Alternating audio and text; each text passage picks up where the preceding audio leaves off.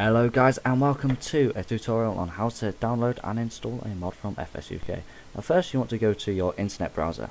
So I'm using Google Chrome for this. At the top type in www.fs-uk.com.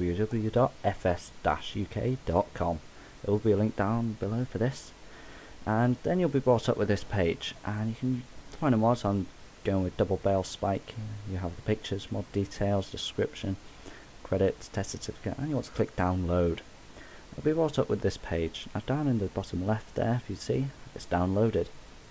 Now what you want to do now is click libraries, downloads, right click, copy, document, my games, Farming Simulator 2015 as there, mods, and top left there, paste.